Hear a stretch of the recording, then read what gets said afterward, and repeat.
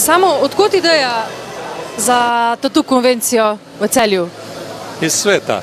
Tako, kot se druge dogaja, eh, tetoviranje na, takole na zunaj, mislim zunaj na prireditvah, tako, tako sem tudi želel, da bi se tukaj v Sloveniji, ne sam jaz, eh, tudi eh, marsikdo ta od nas, se vidite, da jih je kar nekaj se odzval na to tetoverijo, pa tako da.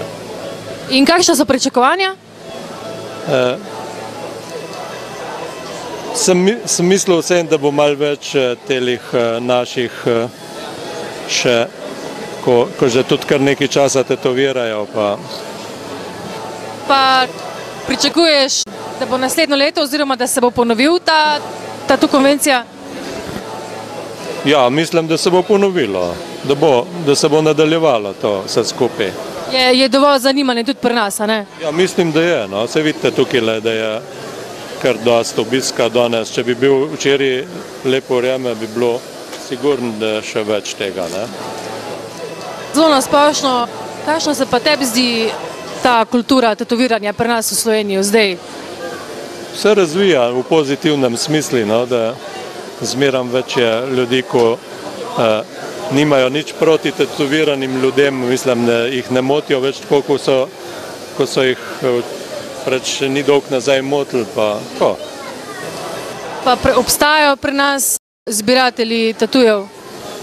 Ja, lahko bi se tudi mogoče rekla. Jaz eh, enega poznam, eh, ko jih ima kar velik.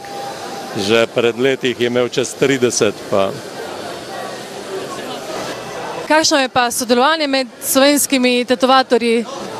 Nasplošno, kakšno je sodelovanje med vami, med mojstri? Tukaj, tukaj le zdaj le se mi zdi, da je super.